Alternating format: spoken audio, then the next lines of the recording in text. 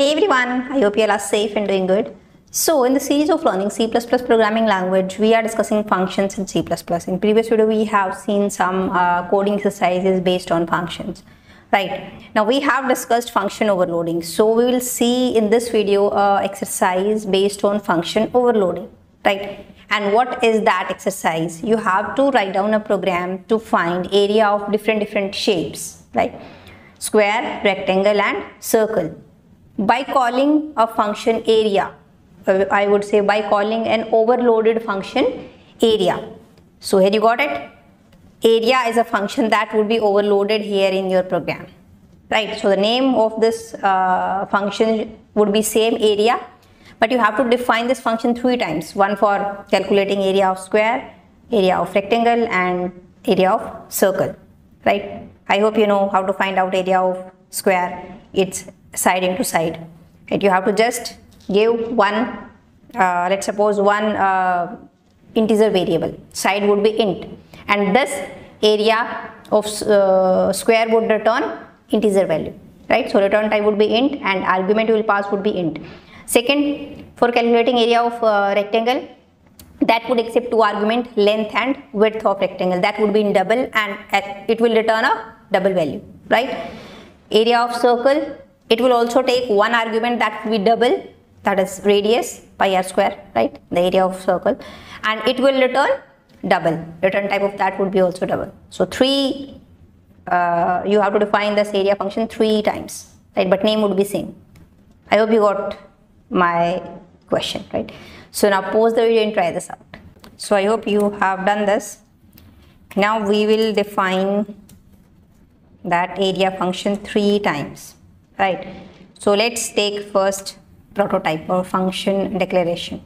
So one would be int name would be area and it will take one argument of type int to calculate area of square. Second would be of type double and name would be same and it will take two argument double and double to calculate area of rectangle. Right and third is also return type is same double name is same area and it will take only one argument of type double. This is to uh, calculate area of circle. Right? Okay now we are calling these function in main. We'll call this let's define these function first.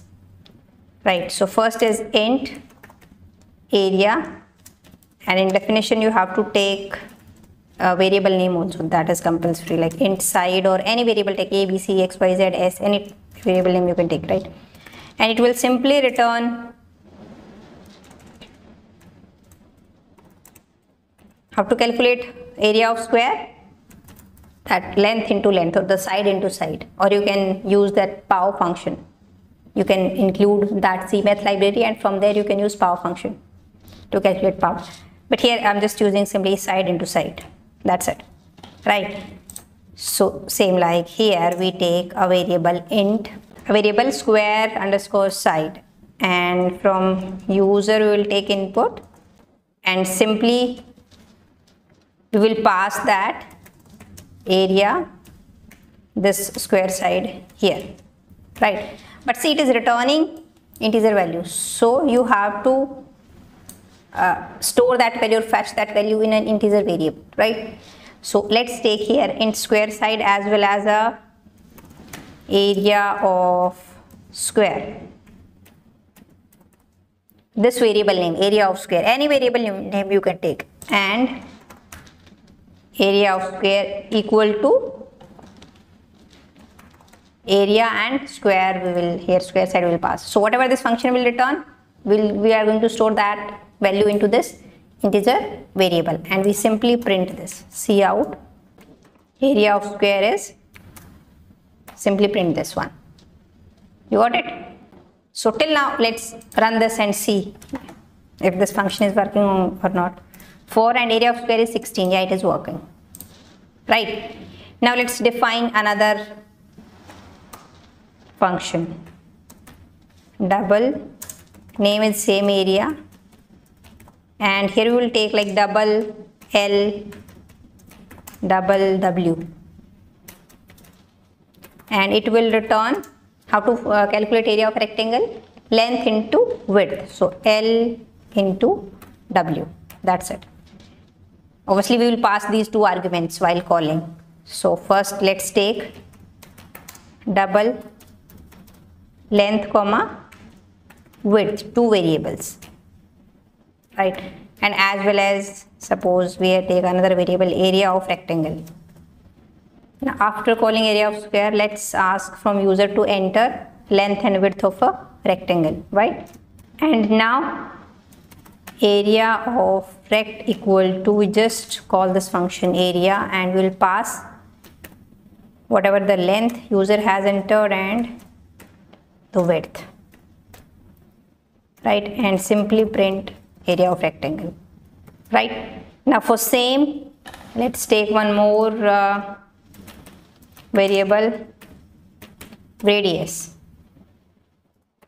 And one variable area of circle. Radius and area of circle. So let's enter that radius now area of circle is equal to let's call this area and let's pass just the radius. And after that print area of circle. Return 0 now let's define the third function also. Area area and third one is for area of circle. So let's take a variable name here. R simply or radius also you can take and area of circle is pi r square. So you, you need to take that value of pi. So let's take a variable here. Double pi is equal to it's fixed 3.14 we'll take this one only. And now return pi r square pi into r into r. That's it. Let's run this and see what output you are getting here. First enter one side of square 4 area of square is 16 now enter length and width of rectangle. So 3.4 and 4.5 area of rectangle is 15.3 enter radius of a circle. Let's take 3 so area of circle is 28.26 right? So this is this is like one example of using overloaded function. Right? Area. Name is same. You don't have to uh, remember like maybe if the function overloaded uh, overloading is not there then you have to write on area underscore circle area underscore rectangle area underscore square like this right? And whenever you will call then for area of square you have to call area underscore square. If you want to find out area of rectangle then area underscore rectangle. But using function overloading there is no need to remember the name exact name of the function because name is same area just the type of argument and uh, types of argument and number of arguments. The parameter you pass that is different. Right? So i hope you got this thing. If you're not getting this it's okay. Take screenshot of this coding or I'll just paste this in uh, description box or maybe in comment. I'll pin this comment right and dry run this. Write down on a piece of paper and dry run this right? And also try out different different example of this type using function overloading. It's not like that you got this example and you are done with function overloading. No. Try out different different examples of function overloading. How you can use your program use uh, function overloading in your program. Okay?